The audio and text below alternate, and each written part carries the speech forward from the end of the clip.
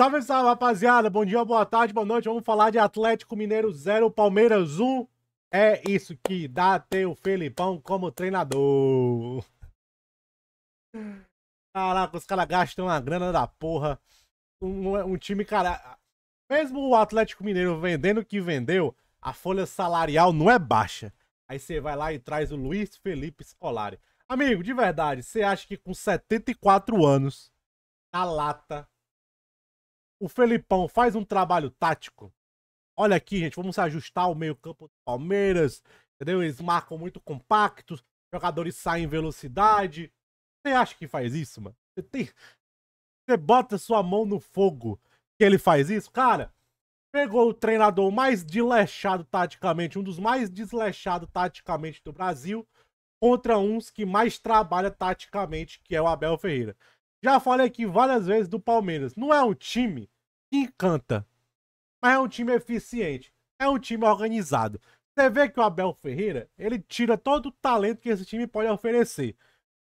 Entendeu? E outra coisa, não foi uma partida brilhante do Palmeiras, que cara, muitas taças vamos ganhar e esse ano nós vamos arrastar tudo. Não foi. Mas foi um time eficiente, mais organizado aproveitou o tapete vermelho que tinha no meio-campo do Atlético, principalmente o Veiga. E outra coisa, vocês lembram disso aqui? Lembra? Quatro semanas atrás. Quatro semanas atrás.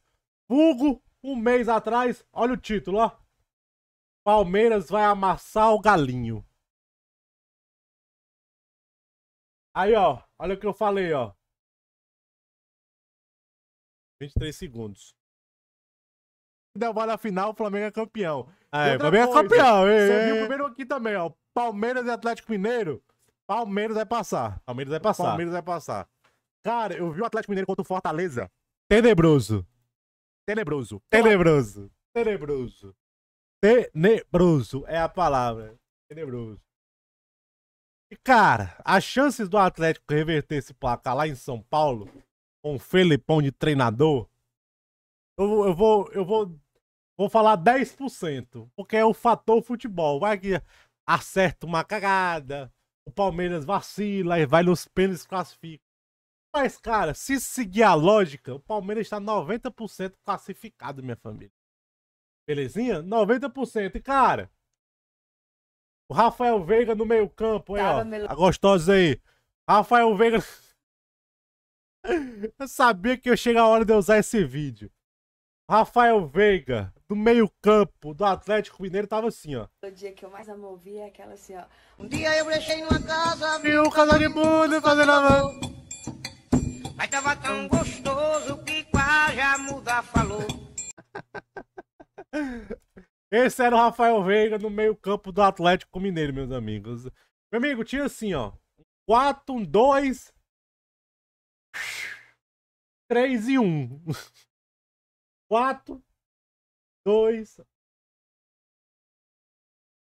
Hectares de campo, 3 e 1. Entendeu? Mano, um buraco no meio campo. O, o Palmeiras. Palmeiras, meio tempo, parecia que tava jogando. Tava jogando lá na. Aliança. Não, não, é. Esqueci o nome do Palmeiras. Na, na Allianz Parque. Parecia jogando na Allianz Parque. Cara, um jogo muito confortável. Fez 1x0. Aí o Atlético tem que sair pro jogo.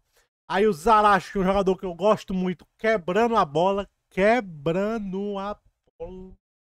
As piores partidas que eu vi o Zaracho fazer.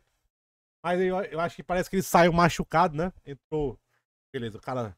Você perde o Zaracho, aí entra o Igor Pegado, pegado, pegado, pegadíssimo. Entende? Aí. Cara, aí o Atlético Mineiro é um time bagunçado. Você vê que é um time jogado na individualidade. Aí eles tentam buscar o Hulk. Aí é o Pavão, a jogada. E bola na área. Aí uma falta que bate de longe. Você vê que o Atlético, cara, mal criou alguma coisa. Teve um lancezinho ali que tava impedido. E. E só. E o Palmeiras controlou o jogo muito bem. É um time muito posicionado, cara. Quando você tem um time muito ao léu, muito jogado, buscando individualidade, uma bola na área, literalmente buscando um acaso, como era o Atlético Mineiro, aí você pega um time organizado defensivamente, comprometido, organizado como o Palmeiras, cara, as chances disso de acontecer um gol é, é minúsculas, cara. Só se realmente tá um chute fora da área, uma bola na área que a zaga falha. Por exemplo, Murilo e o Gustavo Gomes jogaram muito ontem. Gustavo Gomes ainda participou do primeiro gol do Veiga ali. Entendeu? Cara, e não criou muita coisa, cara. O Atlético não criou muita coisa. Um jogo controlado pelo Palmeiras. E é isso, 1x0.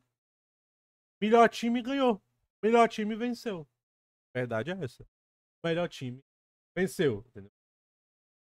Palmeiras agora vai com uma boa vantagem aí para o jogo de volta e para mim tá classificado. 90% classificado o Palmeiras. Gente, Felipão, treinador ultrapassado, gente. Principalmente agora nessa era.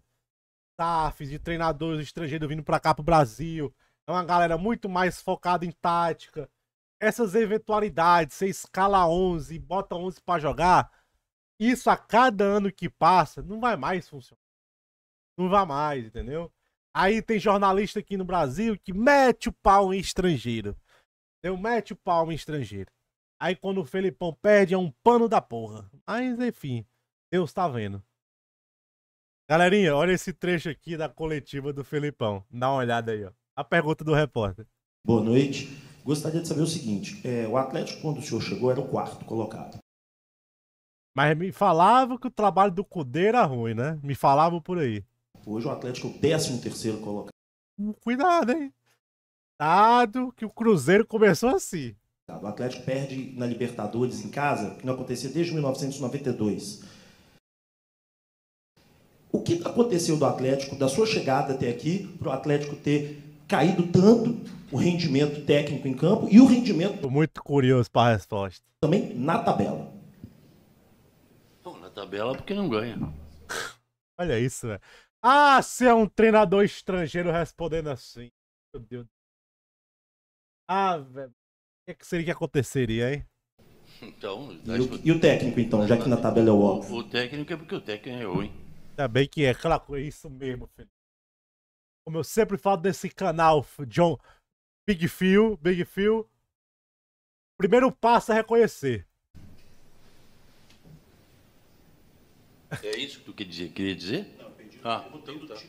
Se não é isso. técnica da equipe. Não Ah, falei ok. que o técnico é ruim. Tá bem? Caraca, mano, de verdade, sabe que eu fico assim.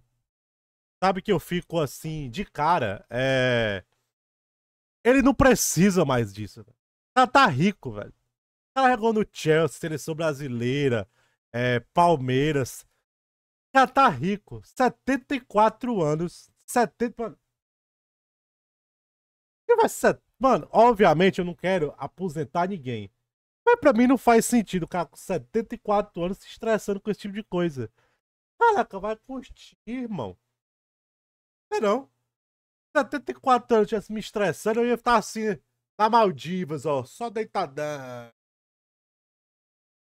Aí, ó, 74 anos, talvez tá tirando o espaço de um treinador promissor. Poderia fazer um trabalho a mais longo. Cara, porque quer queira, quer não, você vai falar pra mim, quando você contrata o Felipão, você tá buscando um trabalho a longo prazo? Não tá. Você tá buscando resultado a curto prazo.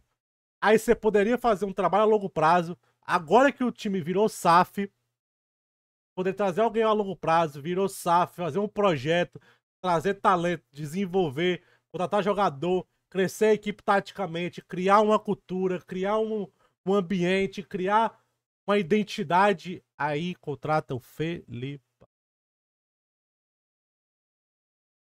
Ai. Poucas do segundo.